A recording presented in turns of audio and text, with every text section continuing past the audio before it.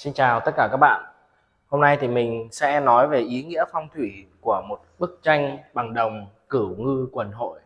Trên thị trường thì có rất là nhiều những cái mẫu tranh bằng đồng. Đấy, nhưng mà đa phần là người ta chủ yếu chơi là những cái mẫu tranh như là tranh mã đáo và nhiều nhất là tranh cội nguồn quê hương.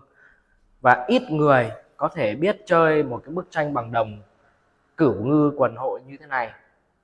Bởi vì à, có một cái lý do là ví dụ như cái tranh đồng quê ấy, thì nó có sẵn những cái khuôn cốt. À, có những cái khuôn của con trâu có những cái khuôn của người câu cá có khuôn làm ruộng cái khuôn mái nhà mái đình. Thì người ta ép ra cái khuôn đấy nó nhanh đấy, và nó dễ dàng tạo hình à, các kiểu. Nhưng mà với một cái bức tranh cá chép như này thì nó không có sẵn khuôn các bạn ạ không có sẵn sẵn khuôn. Vì thế nên là cái người thợ người ta phải thúc nổi thủ công từng những cái con cá, từng những cái hoa sen và tạo hình. Đấy, ban đầu là người ta sẽ lên phát thảo, lên giấy, sau đó là người ta sẽ in lên cái ờ, gọi là scan lên cái tấm đồng và người ta bắt đầu là thúc nổi thủ công tạo hình. Đấy, nồi nõm để tạo ra một cái bức tranh bằng đồng như thế này. À bây giờ thì em sẽ nói kỹ hơn về ý nghĩa phong thủy của bức tranh cửu ngư quần hội trước tiên là chúng ta nói về cửu ngư tức là chín con cá chép. Chín con cá chép. Trong văn hóa Việt Nam nói riêng và văn hóa của phương Đông nói chung thì hình ảnh những cái con cá chép này nó là một cái hình ảnh biểu tượng cho cái sự vươn lên cái sự nỗ lực. Đấy à, có một cái tích là cá chép hóa rồng đấy đấy thì những cái con cá chép mà vượt được ngũ môn bơi ngược dòng nước để vượt ngũ môn để hóa thành rồng là một cái hình ảnh rất là đẹp và thiêng liêng trong cái văn hóa của người Việt Nam mình. Đấy và đặc biệt là trong cái văn hóa Á Đông cho nên cái hình ảnh của con cá chép là rất ý nghĩa thì các bác đã biết rồi à, nhiều người chơi cá chép. Đấy và cái hình ảnh số 9 hình ảnh số 9 cũng là cái số đại. Đấy tức là cái số nhiều. Đấy số 9 là cái số đẹp là số cửu cửu ngư là chín con cá chép. Quần hội quần hội ở đây tức là tề tụ vào một chỗ như các bác tề tụ vào một chỗ như thế này. À, ý chỉ là một cái sự à, giao hợp giao thoa và tề tụ lại những cái tinh túy nhất những cái đẹp đẽ nhất. Đấy à, những cái sự may mắn những cái sự thành đạt để tề tựu lại trong một cái bức tranh cửu ngư quần hội như thế này. Và tranh cửu ngư quần hội thì thường là người ta sẽ đưa hình ảnh cá chép ở trong đầm sen hoặc cá chép ở hoa mộc lan thì đây là một bức tranh à, các bác thấy cho em là ở trong đầm sen. Đấy.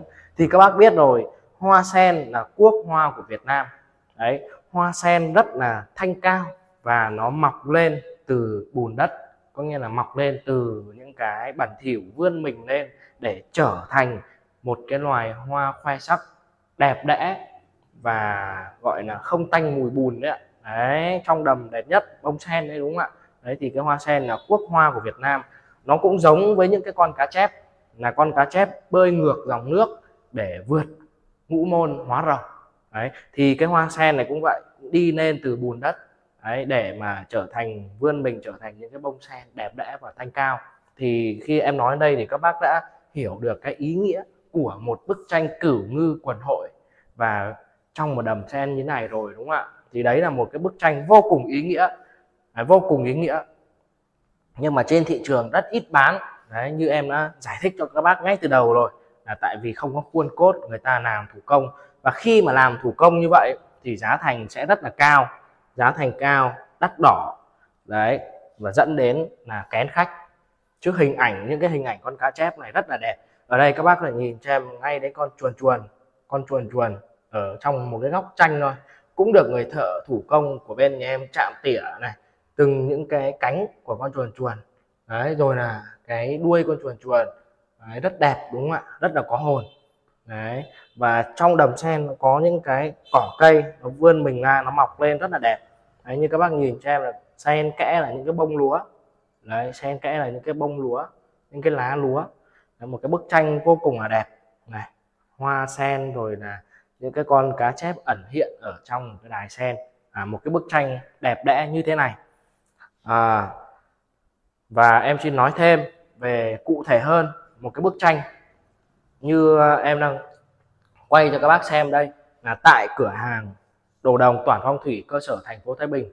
Nhà em đang trưng bày một bức tranh cửu ngư quần hội có chiều dài là 1m71 và chiều cao là 91 phân. Đấy là những cái con số phong thủy nhà em làm. Đấy. À, tấm đồng ở đây là tấm đồng nguyên tấm và dày đến 8 gem đấy. Dày 8 gem rất là dày các bác ạ. Riêng cái tấm đồng không nó đã nặng tới là 3 cân 2 kg đồng 3,2 kg đồng rồi. Đấy để người ta thúc nổi nó cao như này thì đương nhiên là phải làm một cái tấm đồng dày thì mới làm được một cái bức tranh cao như này à, nổi cao như này các bác nhé và em xin nói thêm để cho các bác biết cách mà chơi cái tranh đồng. À tranh đồng nó là một dạng tranh phủ điêu các bác tranh phủ điêu là tranh nổi trên bề mặt. Thì tức là mình không cần phải chơi kính. Đấy, không cần chơi kính. Đấy, các bác có thể lấy tay các bác sờ được. Đấy, sờ và cảm nhận được cái độ nổi khối của bức tranh. Đấy, cái hay của cái bức tranh đồng là như thế. Là mình có thể là mình nhìn nghiêng nhìn ngang nhìn dọc. Đấy nó mỗi hình mỗi vẻ nó giống như là một bức tranh 3D nó đẹp chứ bây giờ mà mình lồng không kính vào thì nó lại thành phẳng hết mình không thể nhìn được các cái góc cạnh góc độ khác của một cái bức tranh như vậy. À đấy là cái cách mà chúng ta chơi tranh đồng. Ngày nay thì những cái nhất là những cái tranh đồng quê người ta à, làm cái tấm đồng rất là mỏng mỏng chỉ khoảng 2 đến 3 gem thôi để người ta ép bằng máy nó mỏng để giảm giá thành.